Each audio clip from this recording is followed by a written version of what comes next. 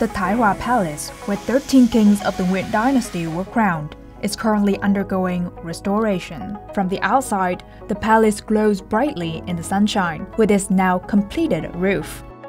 However, joint efforts from multiple sources were required to reproduce the Huang Li tiles used in this project.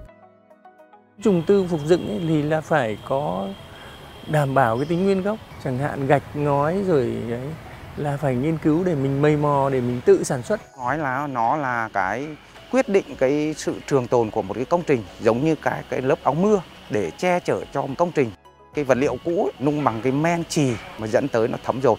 Thì qua quá trình chúng tôi tìm hiểu và nghiên cứu thì chúng tôi đã đề xuất một cái giải pháp đấy là thay đổi cái men.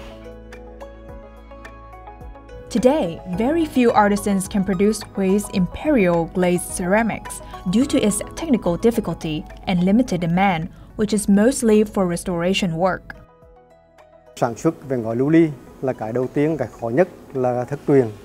Cho nên mày mò từng cái loại men mà nó mình là những cái nguyên vật liệu để đưa vào làm men là chủ yếu là nguyên vật liệu tự nhiên để mình tạo ra màu và tạo ra độ rắn, tạo ra độ bóng. Theo yêu cầu của Trung tâm Bảo tồn di tích của đô Huế là phải chất lượng, màu sắc phải bảo đảm và cái độ bền phải cao. 20 năm trời để chúng tôi mới đạt được một cái sản phẩm gọi là đáp ứng được để trùng tu di tích. Recreating Hoàng Lưu Li tiles is a tireless effort to preserve and restore the Hui monuments.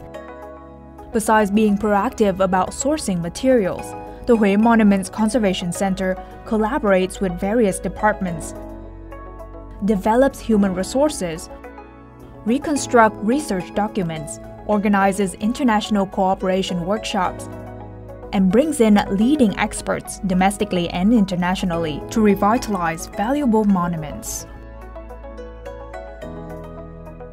41 years after being recognized as a World Heritage Site, the Hui monuments have transitioned from needing urgent intervention to being preserved sustainably.